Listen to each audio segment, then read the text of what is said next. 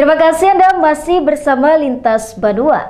Komisi 3 DPRD Kabupaten Tabalong belum lama tadi menemui Komisi 3 DPRD Kalsel di Gedung Rumah Banjar untuk melakukan konsultasi terkait rencana pembangunan bendungan Sungai Kumam Kecamatan Muara Uya dan beberapa ruas jalan yang mengalami kerusakan.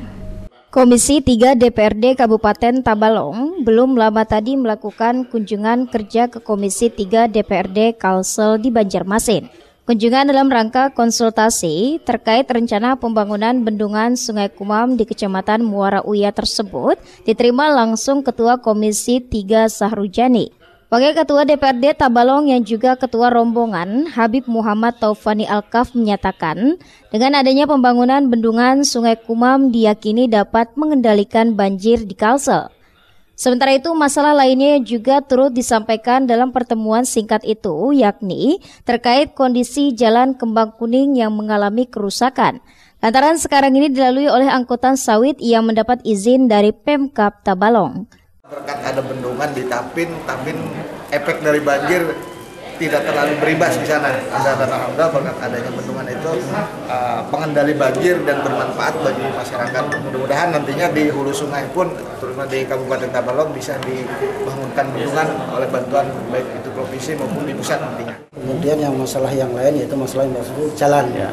Jadi jalan tadi yang sangat mendasar yaitu jalan yang dilintasi Astra, angkutan perkebunan yang mulai Astra sampai ke jalan Kembang Kuning yang panjangnya sekitar 7 kilo. 7 kilo. Dari Jalan Raya ke Kemang Kuning. Ya, 7 kilo.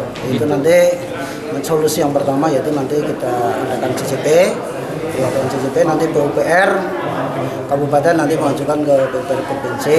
Menanggapi permasalahan Komisi 3 Tabalong, Ketua Komisi 3 DPRD Kalsel Haji Sahrujani mengaku sangat mendukung berbagai usulan pembangunan infrastruktur baik jalan maupun bendungan dalam upaya antisipasi banjir.